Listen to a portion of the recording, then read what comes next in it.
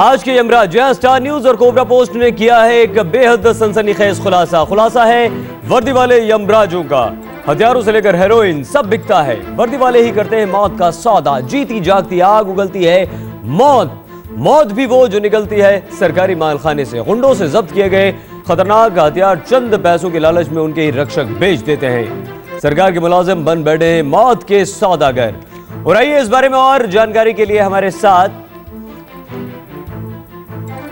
फरुखाबाद के डीएम इस वक्त हमारे साथ मौजूद हैं। दुग्गल साहब। दुग्गल साहब, बहुत धन्यवाद स्टार न्यूज़ से बातचीत करने के लिए हमने खुलासा किया है। महेश चंद्र सैनी, एक सब इंस्पेक्टर जो है आपके मालखाने के, उनसे हमने खरीदे हैं दो हथियार। सबसे पहले तो आपकी पहली प्रतिक्रिया। दुगल साहब, क्या आप हमारी आवाज़ सुन पा रहे हैं?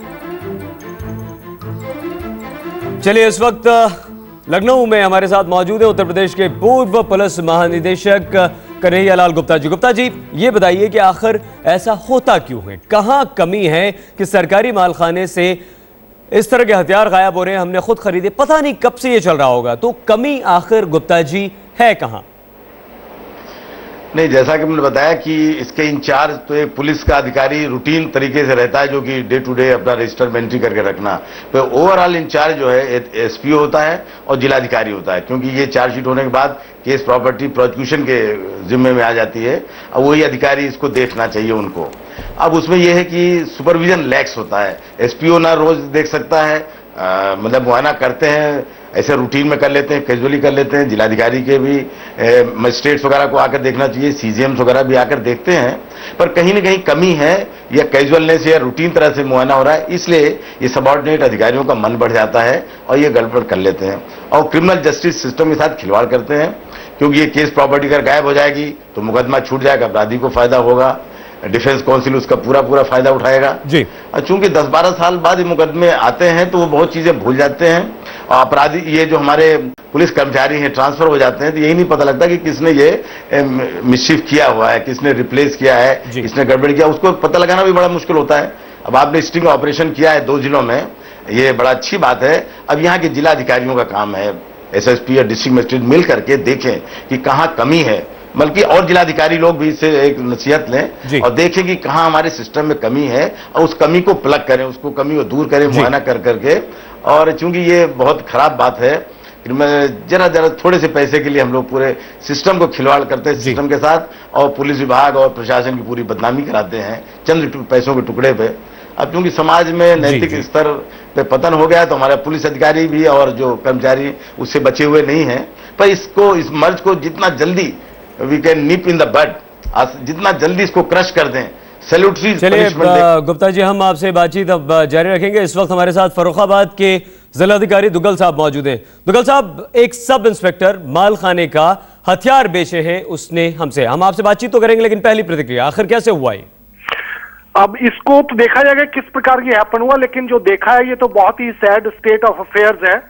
और मैंने अभी अपना फरुखाबाद के पुलिस अधीक्षक से दूरभाष पर बात किया और उनको कहा कि ये जो कर्मचारी अधिकारी दिखाए गए हैं जो इस चीज़ में इन्वॉल्व थे उनके विरुद्ध तत्काल आज ही जो है सख्त से सख्त कार्रवाई करें अपना। चलिए बिल्कुल ठीक है लेकिन आ, हम आपको बता दें दुगल साहब की आ, हमने ये जो हथियार है वो मेरठ के कार्यवाहक डीएम को तो सौंप दिए हैं लेकिन आप ये बताइए कि आप क्या कार्रवाई करेंगे? इसमें जिनको आपने दिखाया है उनके विरुद्ध तो कार्रवाई करने के मैंने आपको बताया कि अभी मैंने पुलिस अधीक्षक को दूरभाष पर अभी दस मिनट पहले निर्देश दिए हैं बात की है उनसे जो है। लेकिन इसके साथ साथ अलग से और भी इस प्रकार का कोई मामला उसमें हैपन ना हुआ हो उसको भी चेकअप करवाने के लिए अलग से जाँच भी इसकी जो है मैं तत्काल इसको ऑर्डर करूँगा कल ही सुबह जो है इसको। दुगल साहब मेरठ का जो सब इंस्पेक्टर था करण सिंह उसे तो गिरफ़्तार कर लिया गया है। अब हम आपसे किस तरह की उम्मीद करें कितनी जल्दी आप कार्रवाई करेंगे और कब तक महेश चंद्र सैनी को गिरफ़्तार किया जाएगा? एसपी साहब को मैंने बोला कि आज ही वो कार्रवाई करेंगे जो जी और आगे से ऐसा ना हो जिस तरह से मालखानों में इस तरह की गड़बड़ी चल रही है गोरख धंधा चल रहा है ये रुके। इसके लिए दुगल साहब आप किस तरह के कदम उठाएँगे? पहले तो जो यदि पुराने कर्मचारी अधिकारी जो लगे हुए हैं उनको तत्काल ट्रांसफ़र करना होगा और फिर इसमें देखेंगे कि और क्या स्टेप जाए कि इस प्रकार की कभी अपना जो है आगे इस प्रकार की हैपनिंग ना हो जो जी आ, इसके अलावा दुग्गल साहब एक किलो की ड्रग्स जो थी वो एक करोड़ रुपए में माल खाने का दीवान बेच रहा था। तो ये बहुत बड़ी कहीं ना कहीं कमी है। थाने का जो दीवान था वो बेच रहा था। कहीं ना कहीं बहुत बड़ी गड़बड़ी है कमी है।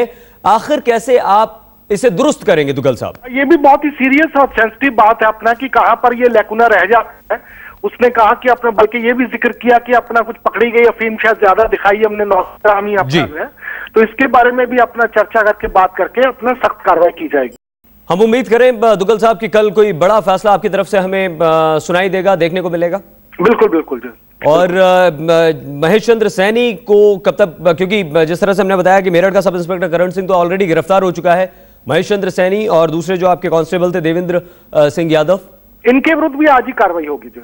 और क्या आपको लगता है दुगल साहब की आखिर कमी कहाँ है? क्यों ऐसा हुआ?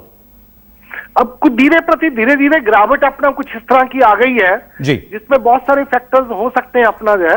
लेकिन अब हमको प्रयास करना है कोशिश करनी है कि अपना जो इस प्रकार के काले चोर है उनको निकाल के अपना उनके विरुद्ध कार्रवाई हो ताकि अपना जैसे बात है कि इसका खाली अपना एक हथियार का बेच देना नहीं बल्कि अपना जो इन लोगों ने अपना जो केसेस किए हैं हैपनिंग हुई है अपना जो जुर्म हुए हैं उसमें छूट जाने का भी चांस रहेगा। इसलिए इसलिए ऑल द मोर इम्पोर्टेंट हो जाता है कि इस प्रकार के जो ब्लैक शीप है अपना जो है उनके विरुद्ध जल्दी कार्रवाई और सख्त कार्रवाई हो जाए।